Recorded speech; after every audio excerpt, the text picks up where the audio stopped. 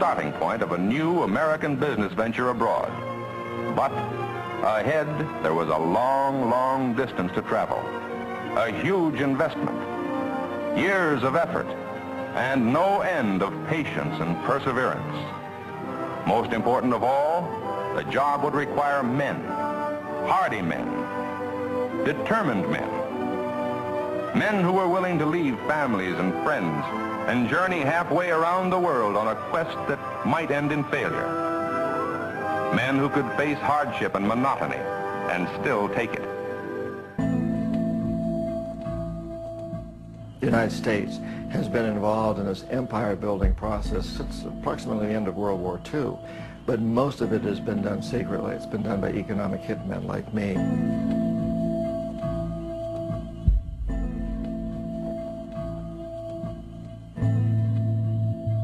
CIA agents don't call themselves spooks or spies, and they don't usually even call themselves CIA agents. They're the commercial attache or the political attache at a U.S. embassy or something. They put some other official title. It's not usually spy or even CIA agent. And it, it was the same with us. It's a, economic hitman is a generic term, and uh, but it's not one that we you don't put on your business card.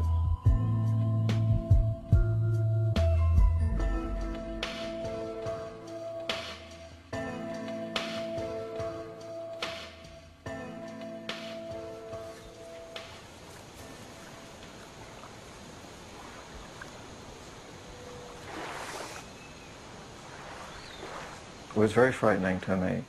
I knew that I was going up against strong forces. I saw jackals at work. There was always that question there, would this happen to me? I don't know how much longer I've got to live. Could be 20 more days, or it could be 20 more years. I needed to tell this story.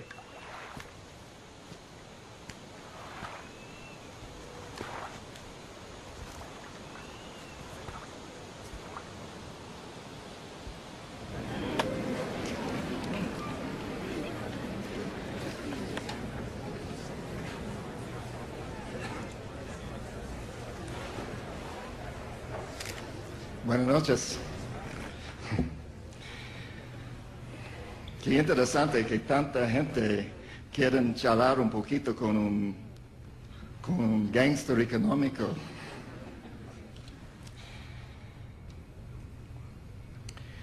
Bueno, empezamos. Disculpe mi español y también disculpe mi vida.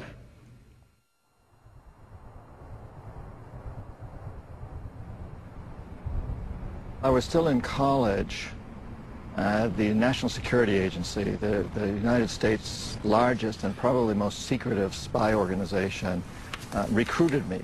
And they put me through a series of tests, personality tests, lie detector tests, and they identified me as a good potential economic hitman.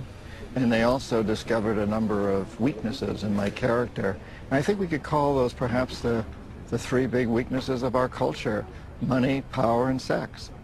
Uh, and when the NSA offers you a job at that level, they, they don't tell you what they're going to have you do. They say you're going to spend um, uh, about a year going through training, and at the end of that, you and they together will decide on your, on your assignment.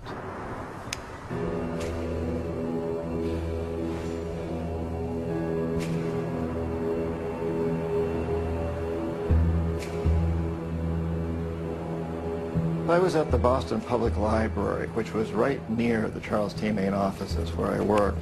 And I was doing research on some of the countries where I was working, and I was there looking for some information. I was having a difficult time finding some.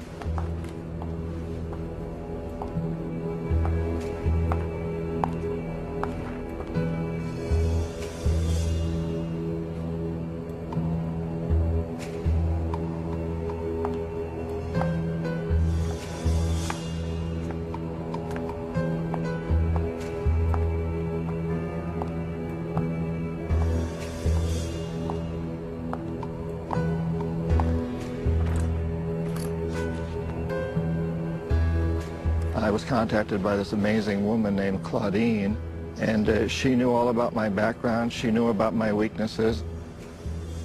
she came up and, and uh, put a book in front of me on the desk, opened to some of the information I was looking for, and her card was there, and it said consultant to Charles T. Main, which was my company.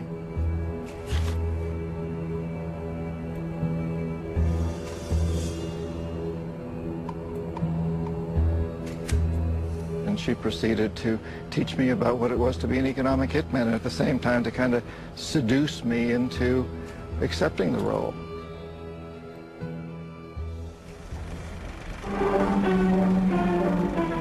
Wherever the limited water supply permitted, wheat was grown. And the Arab, essentially good-humored in spite of his hard life, would make a little dance and a little song as he threshed the grain. And for townspeople and Bedouin alike, life was an endless struggle. None of them knew that this desert, barren of natural resources to the outward eye, had been blessed by nature beyond the wildest dreams of those who raided and struggled for life across its sandy, windswept wastes. We economic hitmen worked in many different ways, but probably the most typical way was that we would identify a country, like a, a third world country, that had resources that our corporations want, such as oil, and then we would arrange a huge loan to that country from an organization like the World Bank, but most of the money would go directly to some U.S. construction company or, or other contractor, uh, such as a Bechtel or a Halliburton. And those companies then would build huge infrastructure projects in this third world country, like power plants, industrial parks, ports. When Charles T. Main had a contract with the government, my job was to inflate the need as high as I could, make the loan as big as I could, uh, and this was, in essence, a policy. Among the more important undertakings for the benefit of the Saudi Arabs, wholly unconnected with oil operations, is the full-scale agricultural experiment project that is underway at Al-Kharj. This irrigation canal, which the oil company helped the Saudi Arab government to build, is bringing water to an area of nearly 3,000 acres now under intensive cultivation. But the whole country would be stuck holding a huge debt, a debt so large that it couldn't possibly repay it. So at some point, we economic hitmen would go back to that country and say, look, you can't repay your loan, so do us a favor. Vote with us on the next critical United Nations vote or send troops in support of ours to someplace in the world like Iraq, or most importantly, sell your oil to us real cheap or your labor pool or some other resource that we want. So it's, a, it's, a, it's an amazingly clever scheme because the lines for tracing it were, were, were, were very hazy. These private companies are paid by the government, but they're paid under these misleading contracts. So for instance, Charles T. Main is hired to do economic hitman work, but it's considered engineering feasibility studies or economic feasibility study. And there was no direct connection. And of course, the other interesting thing is the money, we didn't even have to get the money that we loaned the countries. We got it through the World Bank. We'd set up an organization that was there to provide the money to do this. So we didn't need to provide it. Our, go our, own government, the United States government didn't have to provide it, except we provide some to the World Bank, so we didn't even have to put up the money.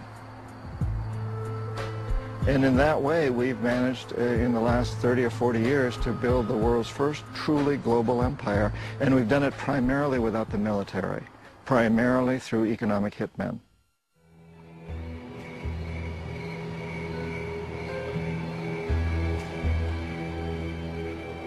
Claudine was very frank with me. She said, you know, this is a dirty business. If I were a banker and I were to offer a loan to someone, knowing full well that the person couldn't possibly repay the loan, but I made this offer because I wanted to get something from the person later on, that would be a crime in the United States. That's illegal.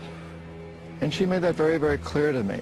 So she portrayed the, the, the dirty side of the business while at the same time holding out this offer of money and power and sex. And she told me what I'd be expected to do, and there it was.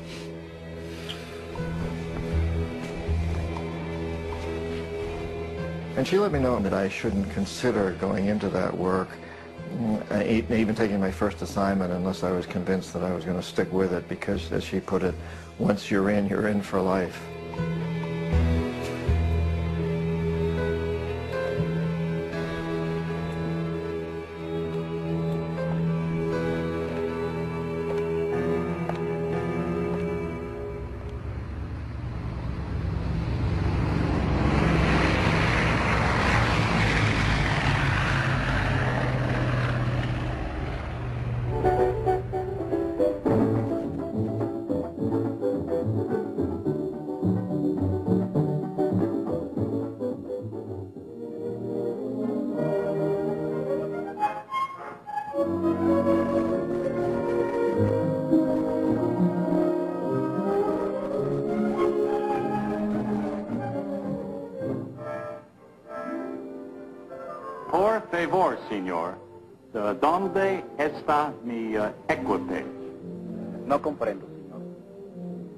De pasar por aquí. I was so sure I'd learned the right pronunciation. But when I tried my phrase book Spanish at Maracaibo Airport, nobody could understand a word. It brought home what I was told in the briefing sessions by Creole. I'm starting work in a foreign country for an American oil company. And I'll have to learn its ways, just as Creole has. We each represent the United States here, in the eyes of the Venezuelans.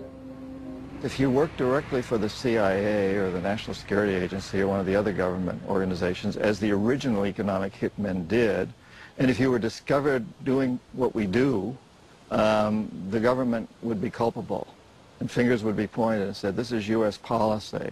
It's much easier to go out and hire someone who's been trained by our military or perhaps by our CIA, has all the qualifications, knows exactly what he is doing, but does not work directly for the government, works for a private company. So if that person is caught, it cannot be traced back to the government. My next letter will be from Lagunitas, because I leave for the oil fields tomorrow.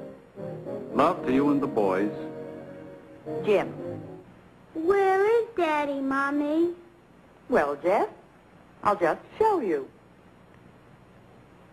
We're here in the United States. And Daddy is down here in Venezuela. I had the driver take me for a ride around Caracas.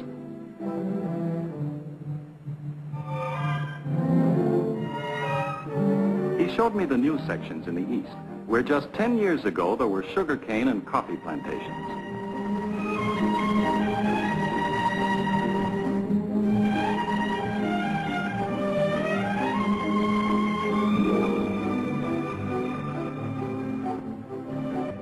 The residential areas are almost futuristic. But others are so quiet and tranquil that you seem to be in another world. University City is one of the impressive sights of Caracas, another example of the prosperity oil has helped to bring to Venezuela. Every country in the world that has major supplies of oil has suffered. Oil is, is, is not a benefit for these countries. It's a benefit for a few of the very wealthy people at the top of the economic totem pole in these countries. You know, the whole theory of development lending is you borrow money from the World Bank, and but then you'll invest in this wonderful dam or adopt these wonderful policies which will promote economic growth, uh, which will easily pay back the loan and then more, so it's a good investment. But of course, this development lending doesn't work out. Uh, huge parts of the world have been going backwards. I mean, that's you can look at uh, sub-Saharan Africa, uh, much of Latin, most of Latin America. It's been two lost decades. Uh, uh, uh, people, in many ways, the 50 or 60 percent of the population of most Latin American countries are as poor as they've ever been. In some cases, poorer. The Caraqueños are especially proud of their low-rent housing projects. Huge apartment buildings in clusters on the hillsides. We have nothing like them at home. In every one of these cities, you're probably going to find skyscrapers. And you're going to find a lot more people driving Mercedes-Benzes. But if you go into the, the poor sections, you're going to find it overwhelmingly worse in much more numbers.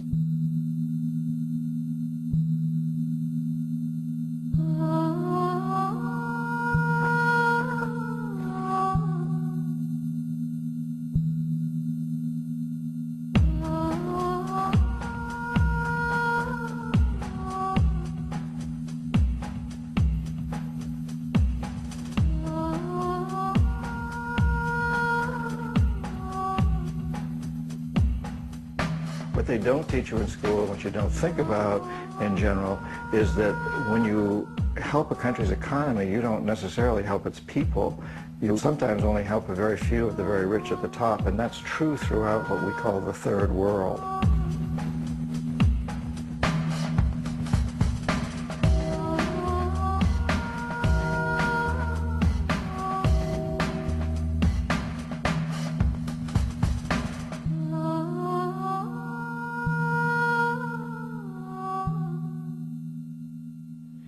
Identificamos un país que tiene recursos nu nuestras corporaciones desean. Por ejemplo, en los 70 identificamos a Ecuador como un país lleno de petróleo. Yo le pregunto al arrepentido si a un gángster, a un sicario de la CIA, tiene conciencia y por lo tanto tiene credibilidad como para convencer de su arrepentimiento.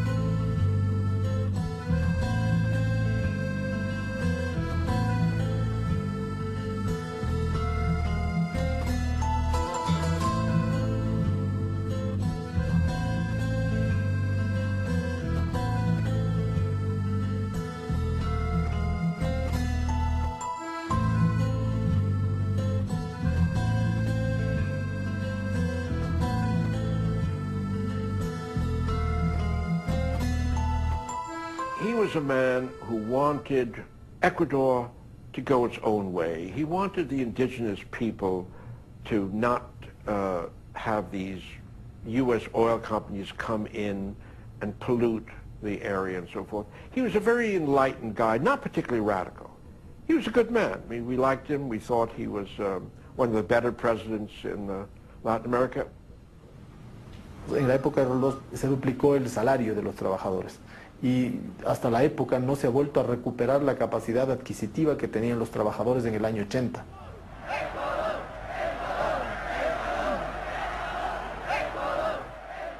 Mi papá siempre, cuando le preguntaban cómo quería ser recordado, si como un gran presidente, si como un hombre brillante, y él era un hombre brillante, extremadamente inteligente, él una vez respondió como un hombre bueno. Jaime Roldos was uh, in favor of a hydrocarbons act that protects the oil of Ecuador and, and makes sure that the Ecuadorian people get a fair share of the profits of the oil that's taken out. Una de nuestras principales riquezas es el petróleo. El petróleo constituye hoy el filón principal de la riqueza ecuatoriana.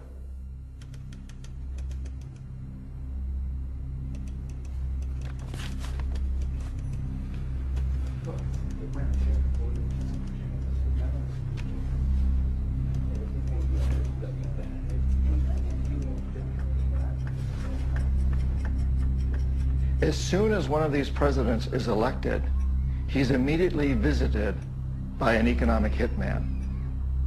Someone who looks a lot like me walks into their office and he says, look, Mr. President, I'm here to congratulate you on being president. And he says, in this pocket, I've got a couple of hundred million dollars for you and your family if you play the game our way. And in this pocket, I've got a gun to shoot you with if you decide to fulfill your campaign promises. The decision is yours.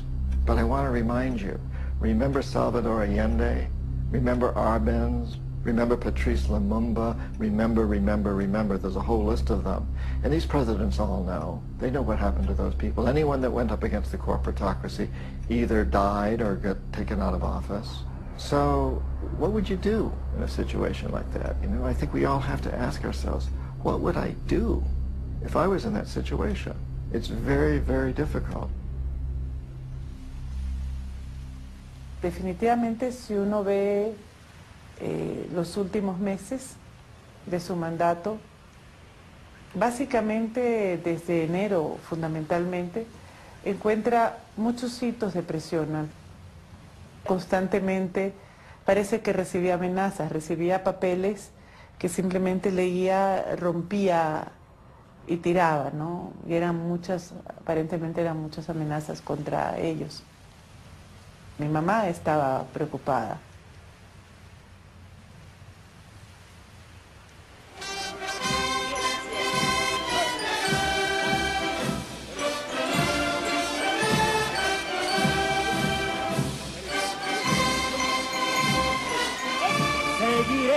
Defendiendo como hemos defendido la no intervención y la libre determinación de los pueblos. Y saludamos con beneplácito los avances democráticos que hacen los pueblos del mundo. Procuramos una América Latina más unida, más fuerte y más solidaria. When the economic hitmen fail, the next step is what we call the jackals. Jackals are CIA-sanctioned people that come in and, and try to foment a coup or revolution. If that doesn't work, they perform assassinations or try to. Probemos el amor a la patria cumpliendo cada quien con nuestro deber.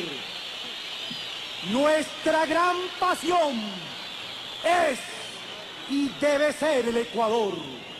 Nuestra gran pasión, oídeme, es y debe ser el Ecuador. ¡Viva la patria!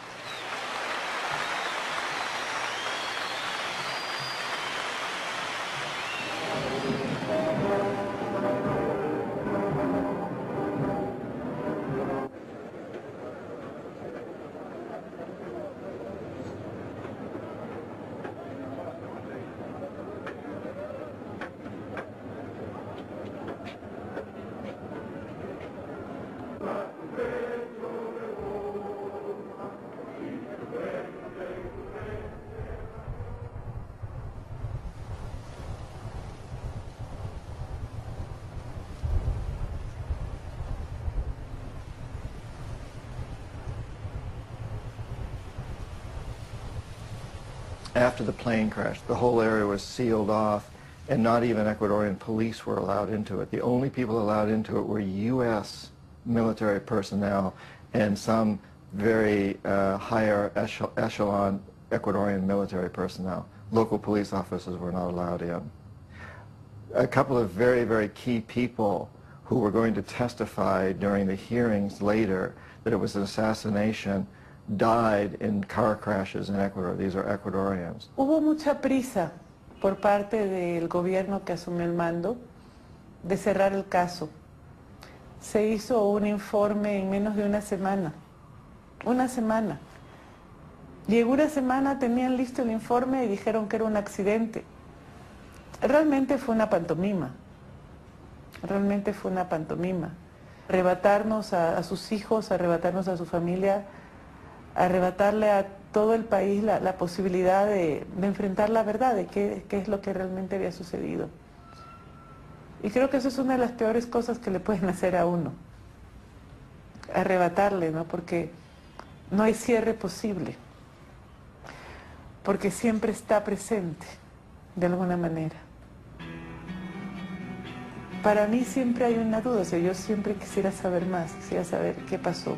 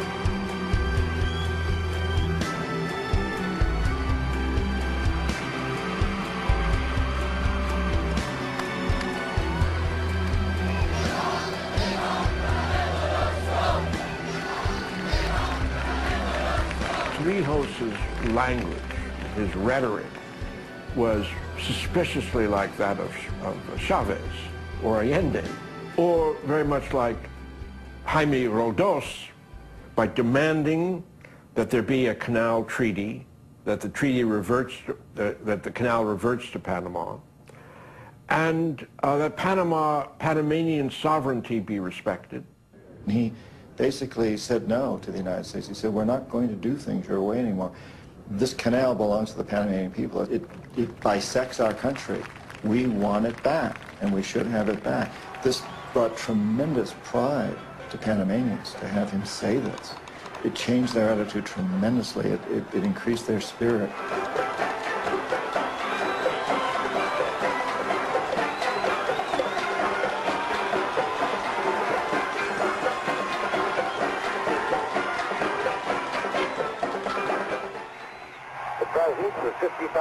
Here and the Canal Zone have always been emotional issues in Panama. And Torrijos has demanded, but not yet tried to enforce, Panamanian sovereignty over the zone.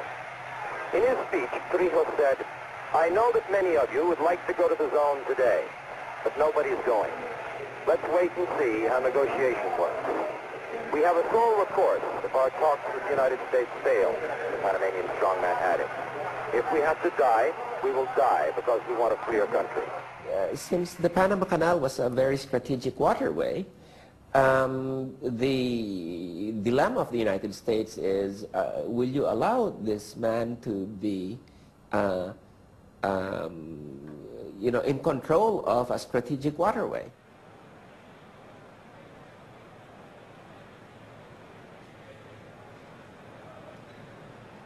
Torrijos is a friend and ally of Castro and like him is pro-communist. He threatens sabotage and guerrilla attacks on our installations if we don't yield to his demands. Well, the Canal Zone is not a colonial possession. It is not a long-term lease. It is sovereign United States territory, every bit the same as Alaska and all the states that were carved from the Louisiana Purchase.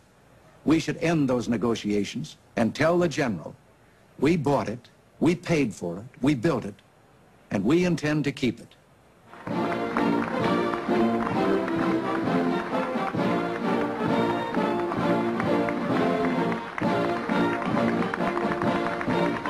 I, Jimmy Carter, do solemnly swear that I will faithfully execute the office of President of the United States. Congratulations.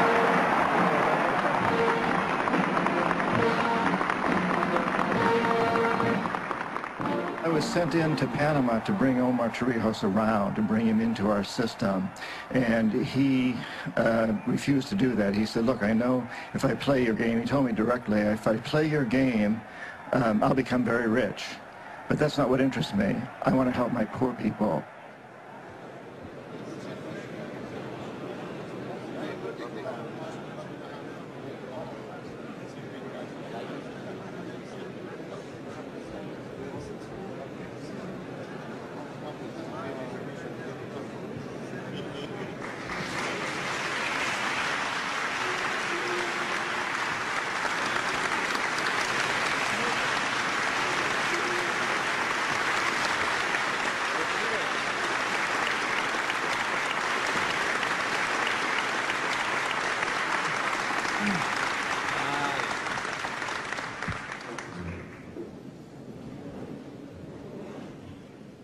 Ladies and gentlemen, the head of government of Panama, Mr. Torrijos Herrera, and the President of the United States, Mr. Jimmy Carter, today conclude a process where nobody negotiated in fear and where no one was afraid to negotiate. We are here to participate in the signing of treaties which will assure a peaceful and prosperous and secure future for an international waterway of great importance to us all. But the treaties do more than that.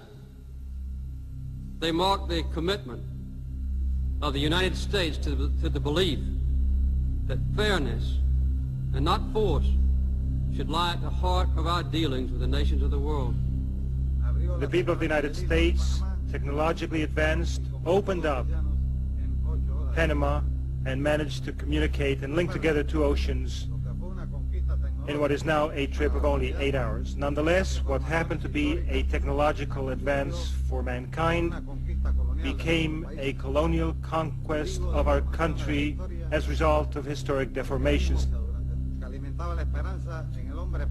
What made Panamanians hopeful and what strengthened Panamanians' patience was the firm conviction that the American people are not a colonialist people. It was a, a, a, a terrible uh, burden for me that I I knew that if I didn't I didn't really want to corrupt Torrijos because I admired his his courage and his honesty and his and his determination to help his poor people. I admired that.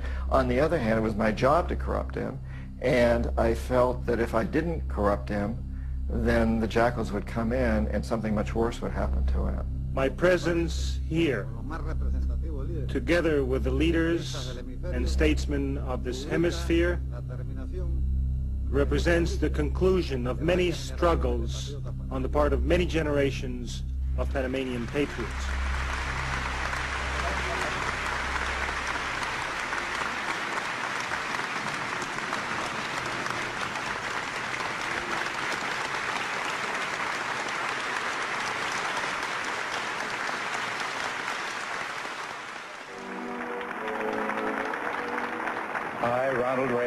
Do solemnly swear that I will faithfully execute the office of President of the United States.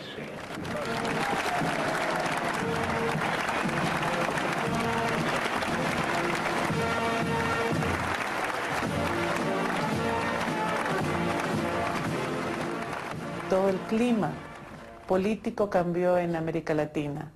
Carter era un hombre cercano, era un hombre eh, que había fomentado el clima de democracia. Eh, Ronald Reagan no.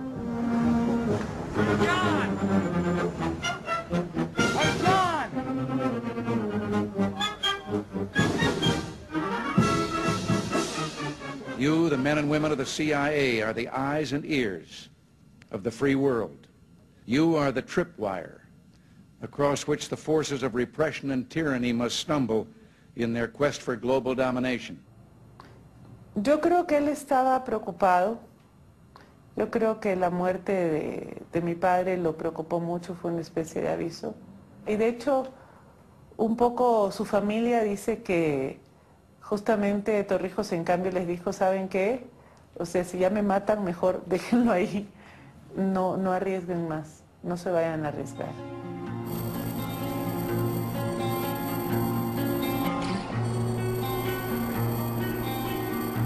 Good afternoon. This is a special news bulletin. Panamanian leader General Omar Torrijos Herrera has died. The 52-year-old strongman was killed when his Panama Air Force plane plowed into a mountainside during a pounding rainstorm in western Panama. His pilot and five other unidentified passengers were in the aircraft with him. There were no, no survivors. When I learned that Torrijos was killed, I was devastated. It was a it was very, very sad. Personally, I, I, admired the man. He was a fun, charismatic. I really liked him.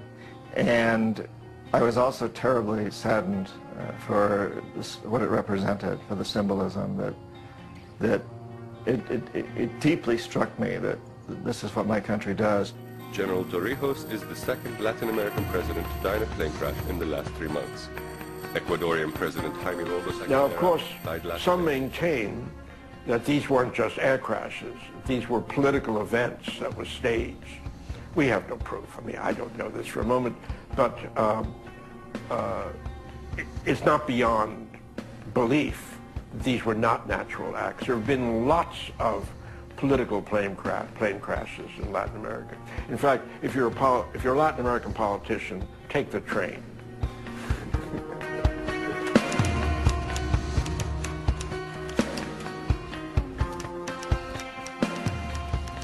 From the beginning of my tenure as an economic hitman, um, it bothered my conscience. And I was very torn. Up to that point, I'd lived a good life. I'd traveled first class all the time, but I'd reached a point where I could no longer justify this. I knew what we were doing was absolutely wrong. It was not to the best interests of humanity. It was not to the best interests of the future of the United States. It was totally contrary to those things, and I'd really begun to accept that.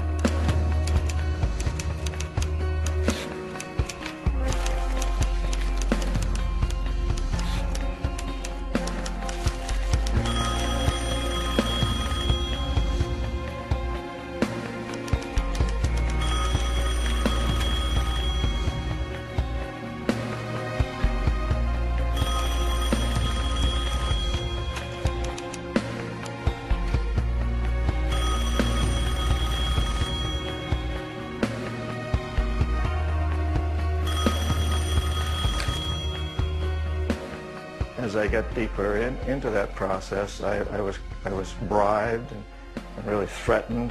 Uh, if I talked to people, if I let the word get out that I was in the process of exposing what we had done, it became very clear to me that I would pay serious consequences. And at the same time, at one point, I was offered about a half a million dollars uh, not to write the book.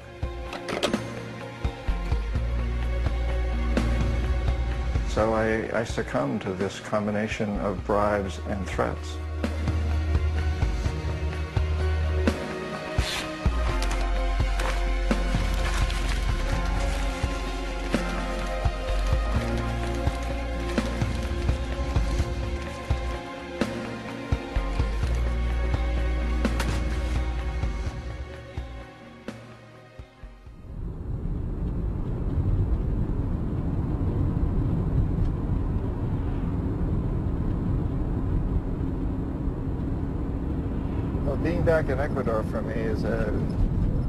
Of feelings. Uh, I feel very close to this country in many respects.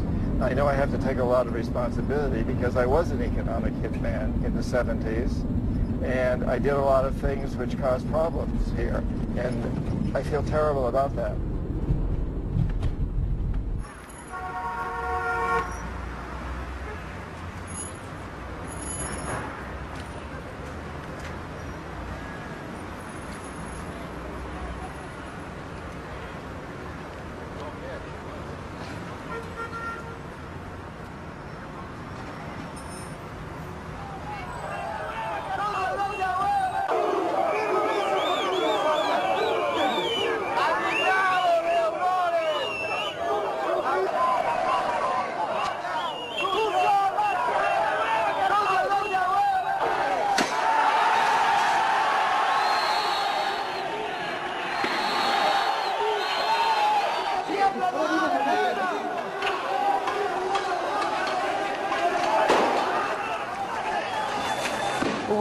Hizo sus carreras políticas sobre los cadáveres de mi padre.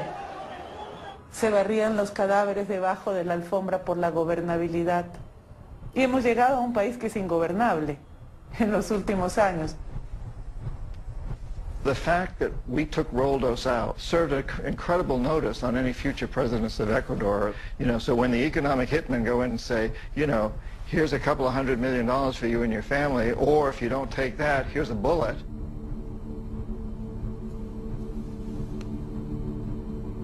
The temptation is to say, well, look, you know, I'll go along with it because maybe I can do something good, and in the meantime, I'll get rich, and my family will get rich, and nobody's going to do any better than me.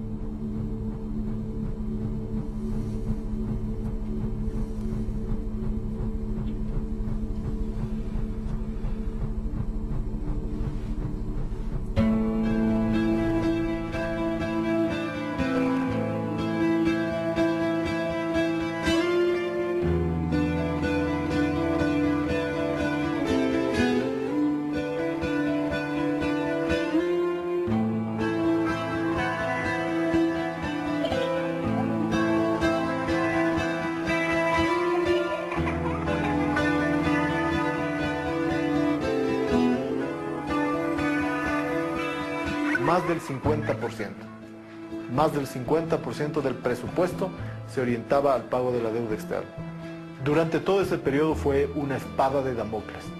Fue el, chantaje continuo con el que los organismos impusieron las políticas, eh, organismos internacionales, me refiero al Fondo Monetario, el Banco Mundial, impusieron políticas muy antipopulares.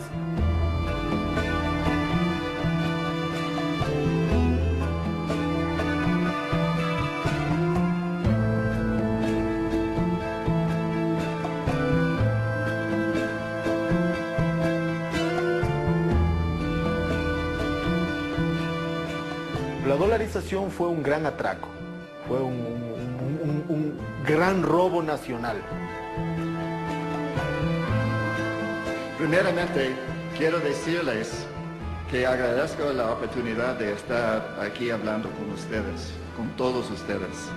Vengo con el mayor de los respetos por la liderazgo en que el Ecuador está teniendo en el proceso democrático, democrático. ¡Vamos, George, agente de la CIA!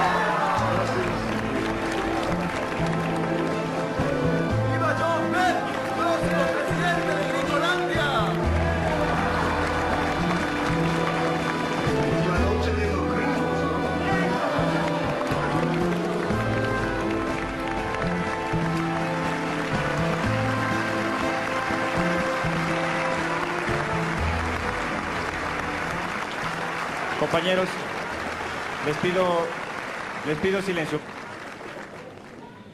Desde la Segunda Guerra Mundial, los sicarios económicos han creado un imperio global.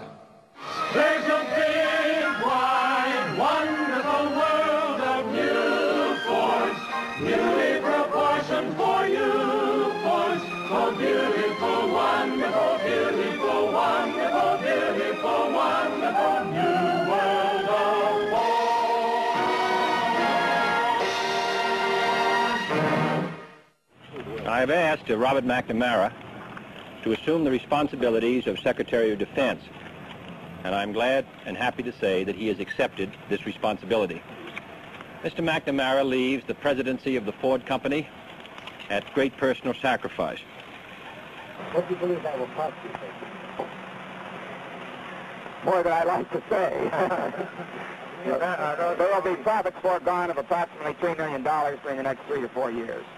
Robert McNamara was a very, very significant player in all of this. And of course, in a way, he represents the corporatocracy because the, cor- because the corporatocracy is composed of three pillars. The heads of big corporations, the heads of big banks, and the heads of government. McNamara represents it from the fact that he was president of Ford Motor Company, private sector, big corporation, and then he became Secretary of Defense under Kennedy and Johnson. This is Pleiku, 250 miles north of Saigon, the air base that was ripped by Vietnamese communist guerrillas.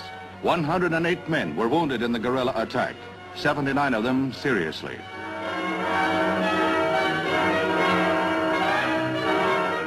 U.S. representatives in Saigon met with representatives of the South Vietnamese government.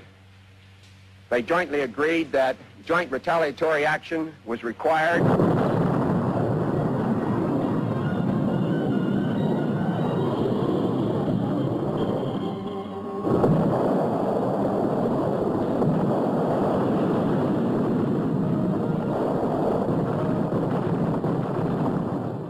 The Viet Cong, the communists, have lost 89,000 men killed in South Vietnam. Thousands of demonstrators opposed to the Vietnam War assembled in the nation's capital for a mass protest. For the most part orderly, minor scuffles did occur between the demonstrators and hecklers. Robert McNamara, when he was Secretary of Defense, was there during a great deal of the Vietnam War. And he saw the, the futility of trying to uh, expand empire through the military.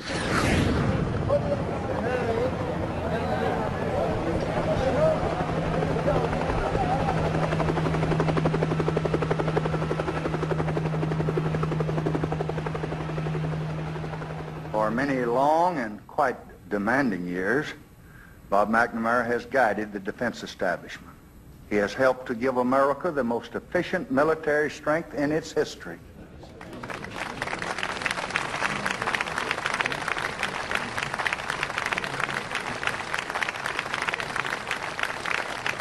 In this intensely loyal, brilliant, and good man, America is giving to the world, and if I may be personal, uh, I am giving the world the very best that we have to win the most important war of all. He really made the World Bank into what it is today. When he entered the World Bank, it was lending about 900 million a year. When he left in 1981, it was lending 12.5 billion a year. And then he was the one who really uh, uh, made poverty alleviation the bank's mission. It was McNamara who really came out with these very typically American sort of missionary statements about uh, we have to be our brother's keeper, you know, and help the poor and all this. And, and he really inspired people at the bank. They thought, well, this is just a, you know, we have a real mission, you know. You know, it's sort of like Wolfowitz bringing democracy to the, to the world. And,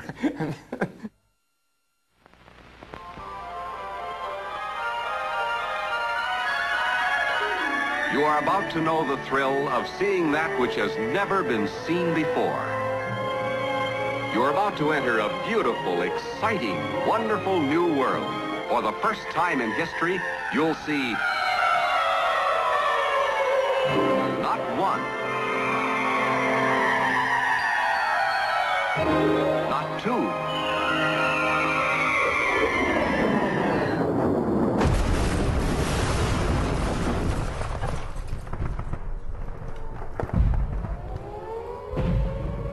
come to Iraq with respect for its citizens, for their great civilization, and for the religious faiths they practice. We will deliver the food and medicine you need. Do not destroy oil wells, a source of wealth that belongs to the Iraqi people. The government of Iraq and the future of your country will soon belong to you.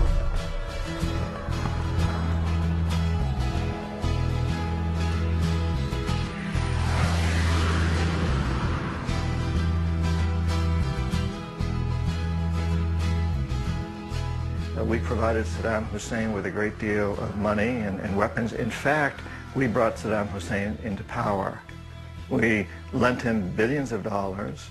We built chemical plants for him, knowing full well that these chemical plants were being used to produce chemical weapons that would be employed against the Kurds and the Iranians. But we continued to support this man. And the economic hitman went in and tried to convince him to accept a deal similar to what the Saudis had accepted. One of the signs that the relationship wasn't working was when Bechtel uh, tried to get a pipeline built working with Saddam Hussein um, that would bring Iraqi oil out of the port of Aqaba, Jordan, and Bechtel would build this oil pipeline. And Saddam Hussein said no, and the fact that he said no to this huge deal was, a, was one of the signs that this guy isn't going to play ball as we want him to. Now, had he accepted that deal, he'd still be president. But he didn't. I'm not sure why. Uh, maybe just stubborn, maybe crazy. I don't know why he didn't accept, but he didn't. And so we sent in the jackals.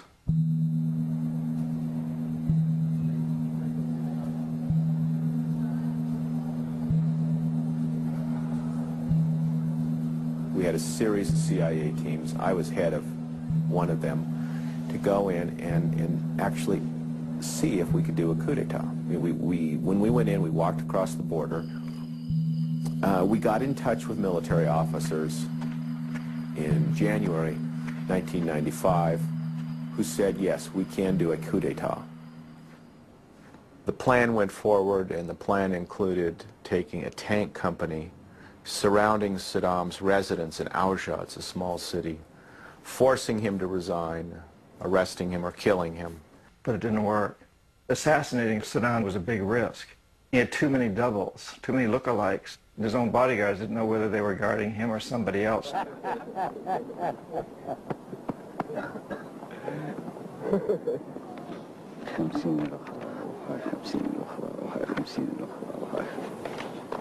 شكرا أشكر الدولة زنكي And so we sent the military in, the, the, the, last resort. You got the economic hitmen. When they fail, the jackals go in. If they fail too, then as a last resort, we send in the military.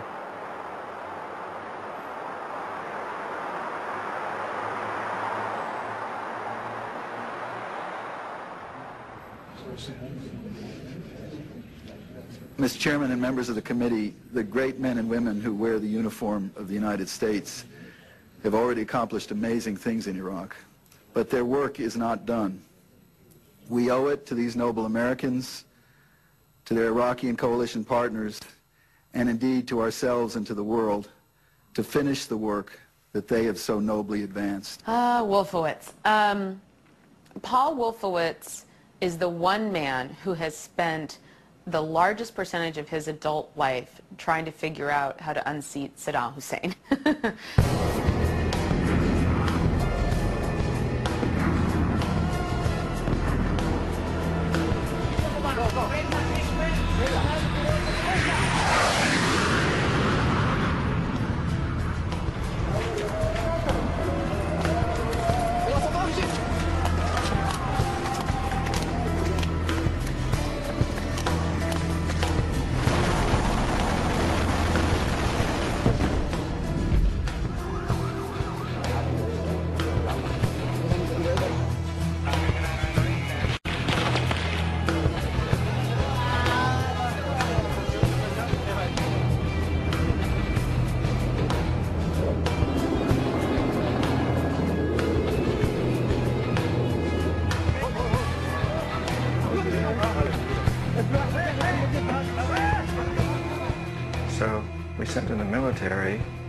did take him out.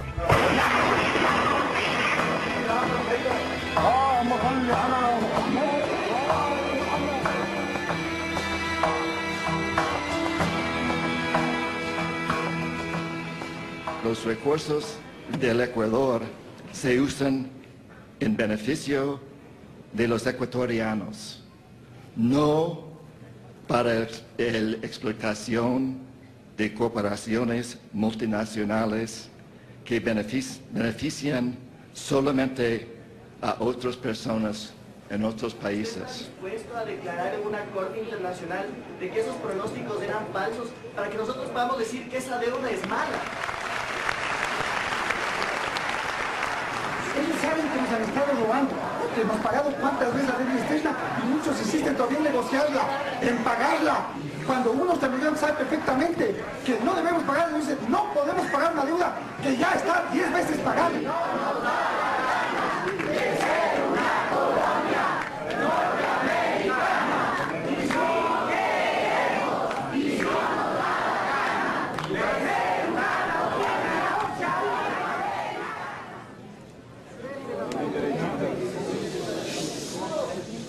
Sin embargo, el país tiene una deuda grande, muy grande, tan grande que no puede pagarlo. Esto es un una parte del plan. Esto es lo que pasó en Irak. Fallacy to say that there was no post-invasion plan for Iraq. There was a very clear plan. It was an economic plan to restructure the economy so that um, it would be switched from an economy that was essentially closed to foreign corporate access to one that was sort of a, a dream work of foreign corporate access.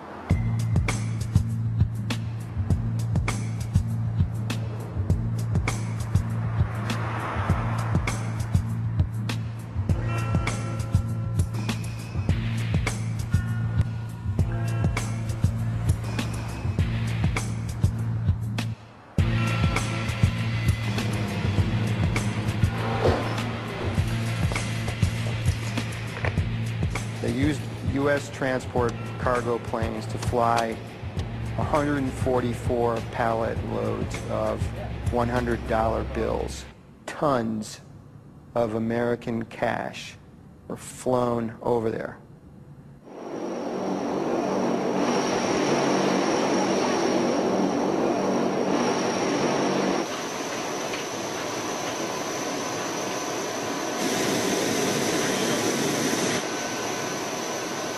As the name implies, the Development Fund of Iraq was meant to be money used for the de- development of Iraq.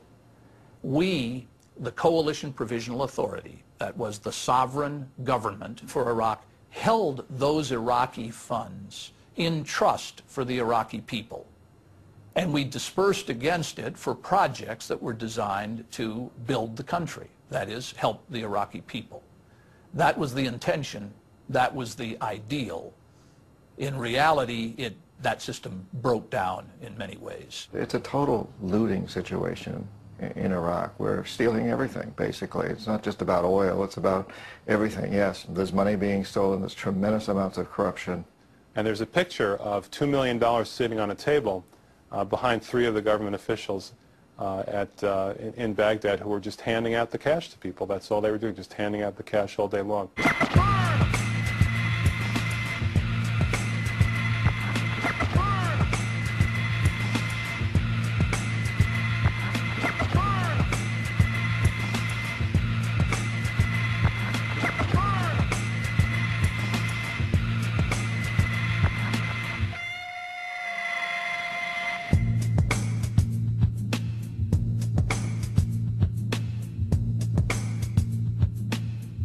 Had brand new $100 bills, all in shrink wrap. They come in bricks of uh, $100,000.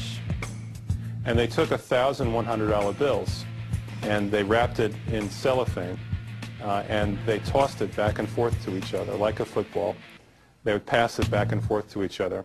Well, I, I played with it. Uh, we, the shrink wrap, it's about like that in size, so it's sort of a small football. And so we had fun with the bricks in our office, passing the $100,000 brick, catching it, scoring a touchdown. So we played a small game of football with the cash while we were waiting for, a, for uh, it to be picked up. شردوهم ضيقوا الدنيا عليهم واقهروهم الله أكبر الله أكبر الله أكبر الله أكبر الله الله أكبر الله أكبر والعزة لله الله أكبر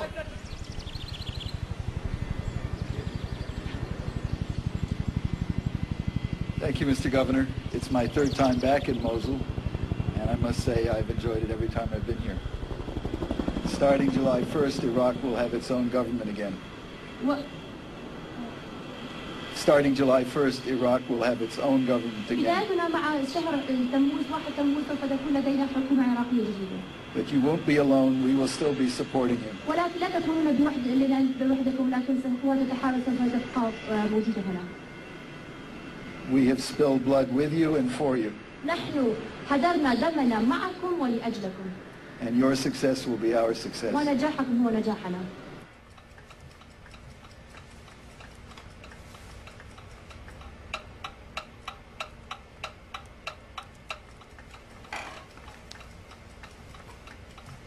In June of 2004, there was a frantic rush to spend money.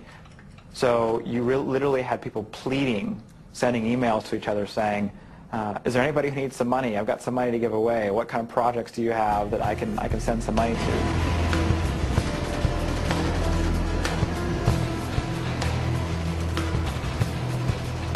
There were some military helicopters, three military helicopters were contracted and sent up to uh, Erbil to drop off the money. They then come back to Baghdad, on the way back to Baghdad, they realized that they hadn't gotten a receipt for the money. they had no way to account for how much money had been dropped off. We'd forgotten to get a bill for $1.4 billion.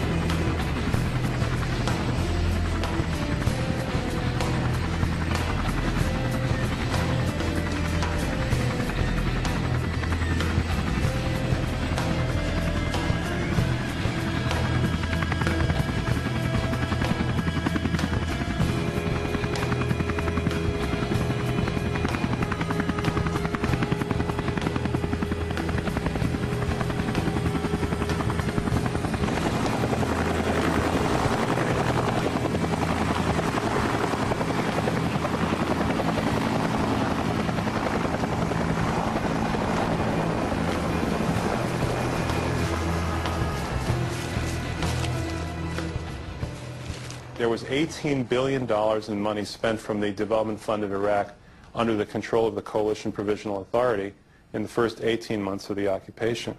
Half of that, $9 billion, is unaccounted for. Nobody knows where it is. Nobody knows what happened to it. Nobody can tell you exactly how much money went into uh, the reconstruction, uh, the reconstruction using Iraqi money. That's a black hole. Um, we don't know who it went to or what it went to. We know that about $9 billion was lost um, during the initial months of the occupation.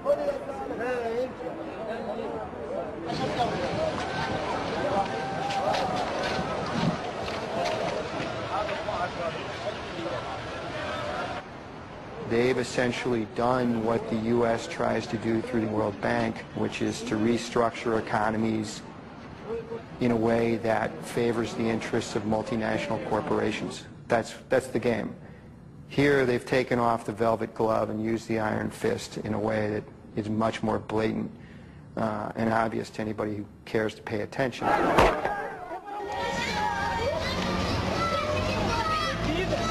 they coming? Film them. Film them. You getting it? You want some water? Water? Mike? Come on, keep running. Here. Here. You getting them? I'm getting them, son. Come on, we're almost there. Hurry. That's fucked up. Here. Can you see him? I can see him, sorry.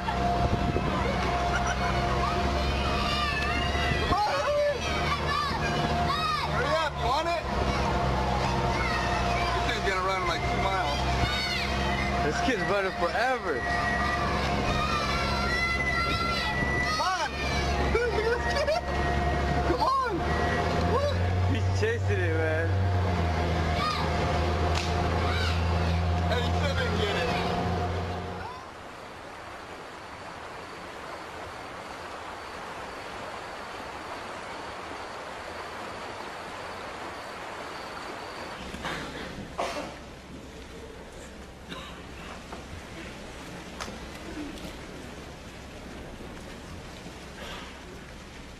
I appreciate the, the world leaders taking my phone calls as I explain to them why I think Paul will be a, a strong president of the World Bank.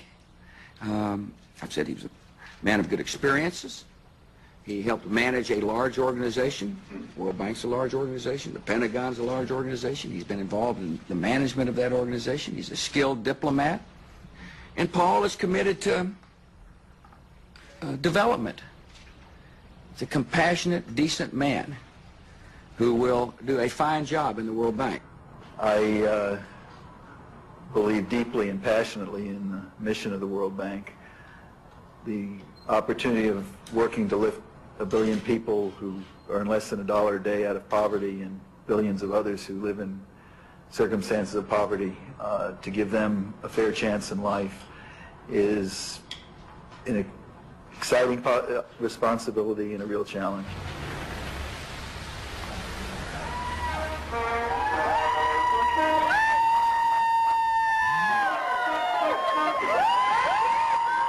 We'd like a few words with our, our winner tonight. So, Wolfowitz, do you feel you deserve this victory?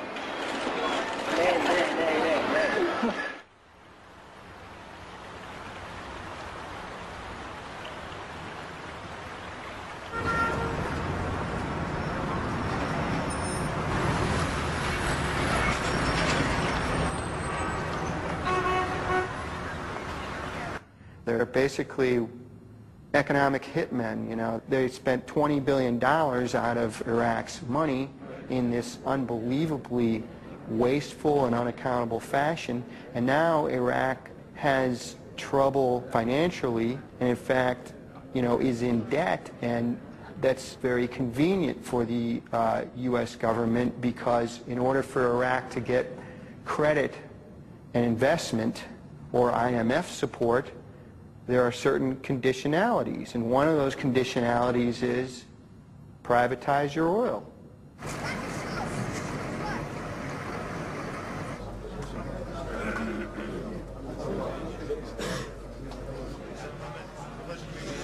The International Monetary Fund signed an agreement with, with the Iraqi government in December 2005 for the cancellation of part of um, Iraq's external debt. And one of the conditions set by the International Monetary Fund was that the Iraqi government pass a law by the end of 2006. That law shifts the Iraqi oil industry from being in the public sector, which has been the case for nearly 35 years in Iraq, to being pre predominantly controlled by multinational companies. So the way that it went is, uh, okay, we will give you a structural adjustment program, okay?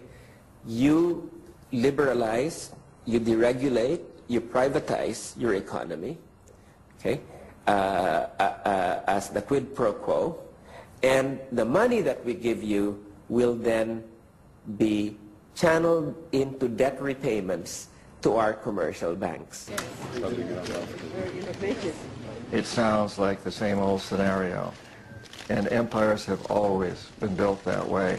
It's just that this one has been done a little bit more secretly up until now.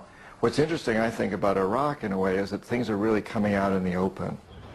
Do you, Pentagon, promise to make war without end on countries that defy the civilized world by refusing to integrate with the global market economy? I do. Do you, World Bank, promise to continue forever and ever with policies such as water privatization, free trade, and labor deregulation? I do, most definitely. With the power vested in me by the President of the United States and by the U.S. Treasury and Defense Departments, I now pronounce Pentagon and World Bank husband and wife. May the invisible hand of the free market bless their union. You may invade, dictate, and impoverish now.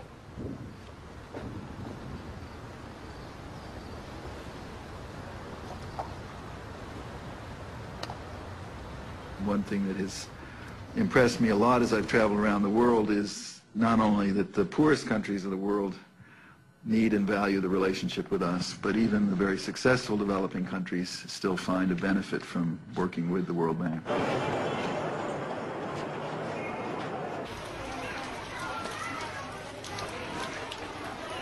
Uh, you can go to places like Bolivia or Nigeria or Indonesia. You can go all over the world to very poor countries and you can talk to people who may be illiterate, can't even read the newspapers, but they know that their country has just accepted a huge loan from the World Bank and they can look and see that big American corporations are in there building huge projects, power plants, and they know the electricity is not going to come to their little cardboard shacks on the canals of Jakarta, Indonesia, or to their little campesino farms uh, in, in, in, in, in the countryside of Colombia or Bolivia or Ecuador. They know they're not going to benefit.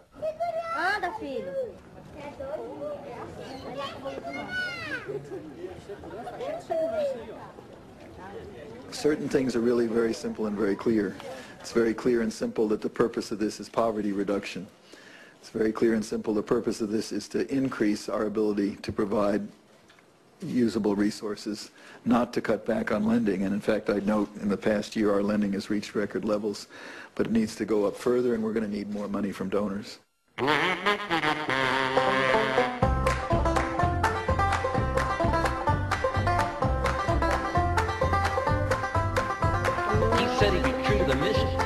Hunger and end. And as all Afghans know, he's a man of his word, on that we can't depend. So be prepared for prosperity, it's coming to your door. Cause there will be no poverty once we kill off all the poor. Last week he was bombing cities, now he's a financier. Pay your debts or say goodbye, all hope for witnesses here. He'll lead us to freedom, and we will be so glad. Just like those shoppers in that market in downtown Baghdad. Last week he was bombing financier. Pay your debts or say goodbye, hope for witnesses here.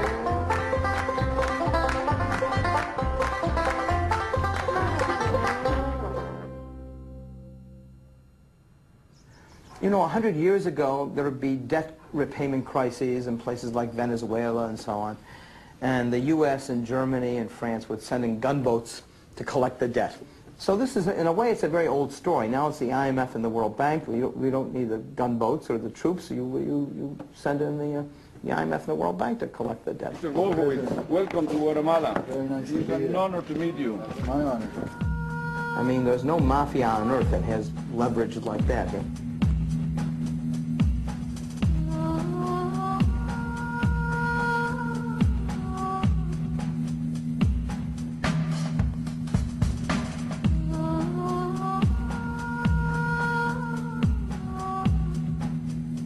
Saudi Arabia as our biggest success as economic hitmen, um, and probably the one that, in the long run, has had the most impact on world history for a long time. The king sees the oil development as the greatest single means to modernize his country and improve the living standards of his people. Has said that Saudi Arabian oil is one of its most important strategic sources of supply.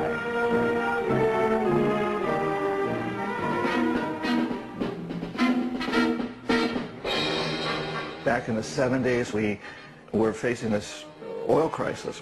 Uh, OPEC had decided to basically hold us hostage to them. And the Treasury Department came to me and other economic hitmen and said, you know, you, we we can't allow this to happen anymore. We can't be blackmailed by OPEC. You guys have to figure out a way to stop this. And we knew that the, this, the key to any su such solution lay with Saudi Arabia because we knew that the House of Saud was corruptible and Saudi Arabia had more oil than anybody else in the world. And so we worked out this deal with Saudi Arabia whereby the House of Saud would guarantee that the price of oil would stay within limits reasonable to us, and we'd guarantee that the House of Saud would stay in power. So what we agreed to do was not investigate Saudi Arabia, not condemn it, not look into it if it would pump oil. It was a gentleman's agreement. You will not find a piece of paper. But it was always understood Now, in the case of Saudi Arabia, in the long run, there was what we call blowback. It's a CIA term. It means that a policy that you think has worked to your advantage ultimately blows back in your face. If 15 of the suicide bombers on 9-11 were Saudis, right? How many Saudis have been indicted, have gone to jail for 9-11? None.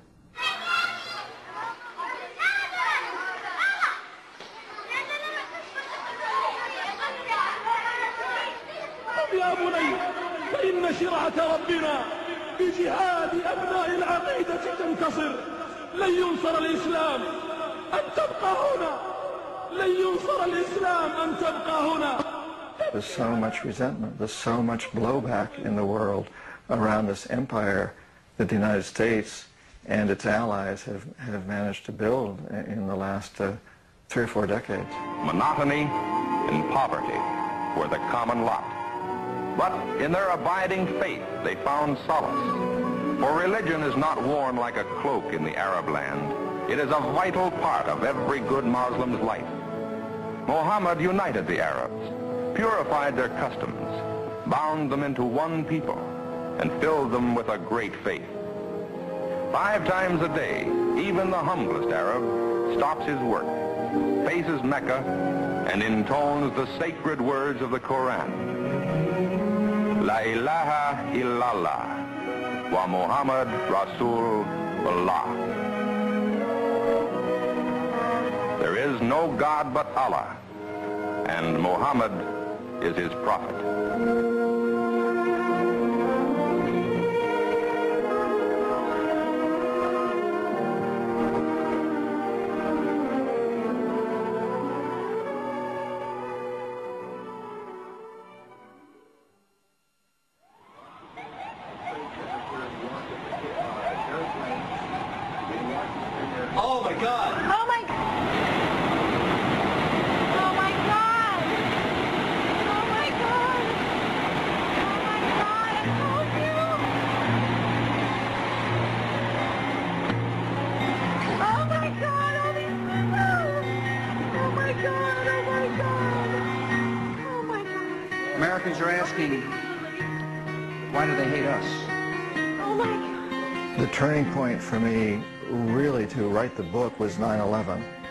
After 9-11, shortly afterwards, I, I flew up to Ground Zero in New York where the World Trade Centers had been. And as I stood there, the, the, this pit was still smoldering, and you could still smell burning human flesh. And I was greatly moved by this experience. And as I stood there looking into that terrible pit, I realized that I had to take responsibility for what was going on, that while Osama bin Laden may be a mass murderer who should be brought to justice, the fact of the matter is a great deal of the world looks at him as a hero. So it was very clear to me on that day that I stood there looking down into that terrible pit where the World Trade Centers had once stood, that I needed to tell this story, that I needed to come clean on what we've done in, in the past 50 years since World War II. And I realized that the American people did not understand why someone had done what uh, Osama bin Laden had done, and that we need to understand that. It needs to be very clear to us.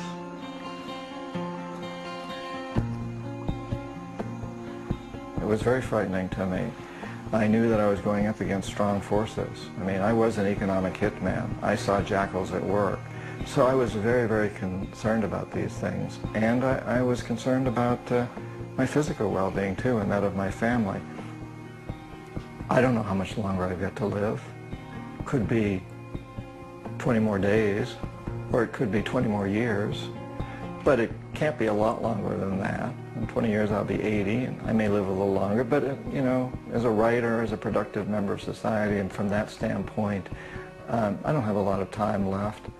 Uh, so I decided I want to devote the rest of my life, however long that may be, to making this a better world for my daughter and her brothers and sisters all over the world. And that's what I must do. And so it doesn't really matter what the repercussions are. I must write this book because that's taking the first step.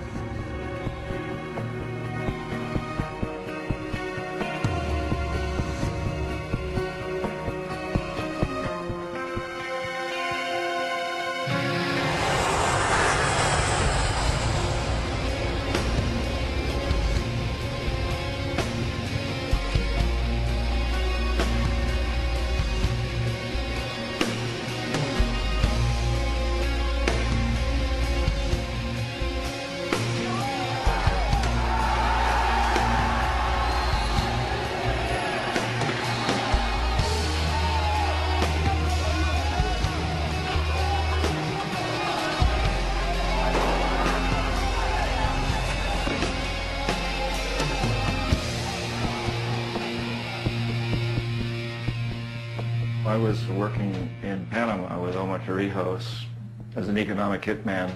At the same time with your father, he was very nationalistic and, and, and a real populist. And he basically said no to the United States. He said, we're not going to do things your way anymore, which was rather shocking, I think, to, the, to Washington.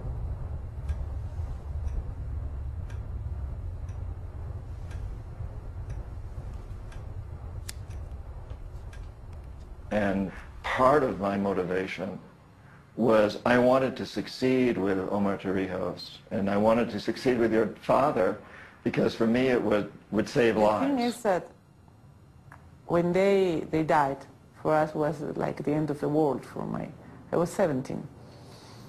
And uh, what happened afterwards, and I, I remember this, it like a blur because years after I have to be, I have to, to read about that, that period of time to remember because I almost forget all that year. I almost forgot all that year.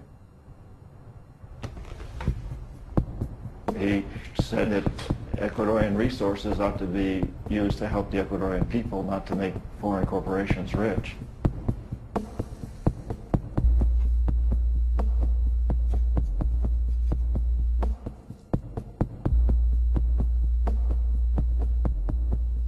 The jackals in to assassinate him.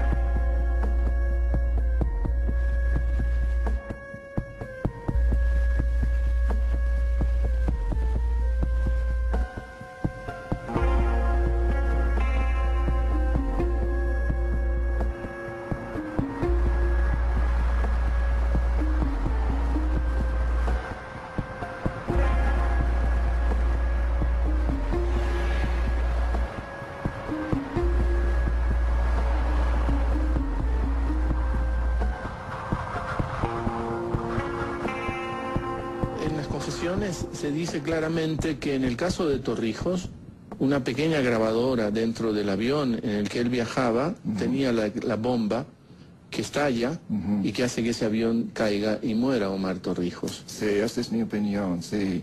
Y también yo creo que casi algo parecido pasó, pasó con Jaime Roldós. Es John Perkins, lo reitero, eh, Confesiones de un sicario económico. Esta noche en el Teatro Prometeo, a las 7 de la noche, ahí en la Casa de la Cultura. ¿Conoces ya el Prometeo, eh, John? ¿Te llevado? nunca he estado. Es absolutamente circular. Es como los teatros griegos. Tú vas a estar rodeado de público. Eh, entonces el público desde todos los ángulos te va a poder ver. Ah, muy bien. Que también es simbólico. No vas a poder ocultar nada. Te vas a someter a otro detector de mentiras.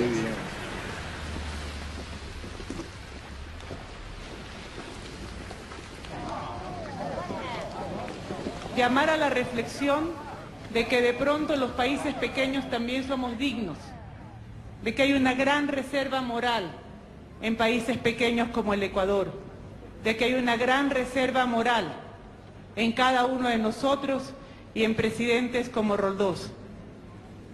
A mí aún me es difícil hablar de la muerte de mis padres y en este momento sí, y aquí en este lugar sí, son como la hija de Jaime y Marta.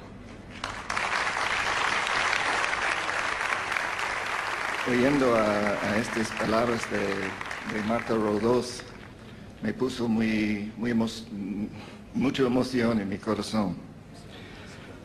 Tengo que pensar un momento. Aquí en Quito cayó el imperio incaico. Aquí en Quito empezó la caída del imperio español. Y aquí en Quito, el Ecuador, caerá también el imperio norteamericano.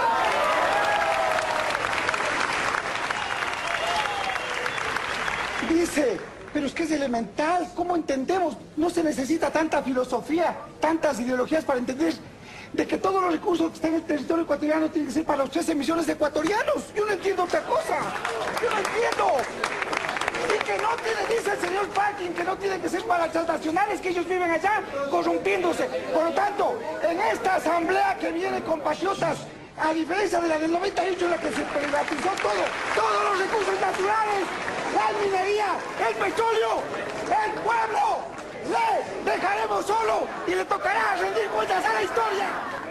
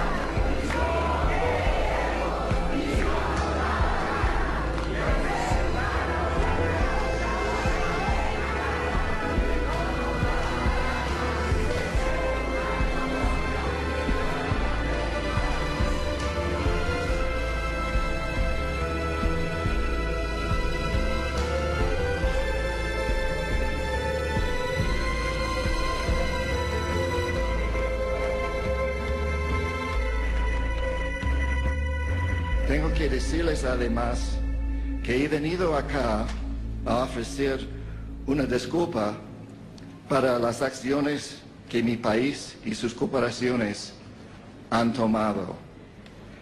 Debo aceptar mi responsabilidad personal por algunos de estos actos. Por todo esto quiero disculp-.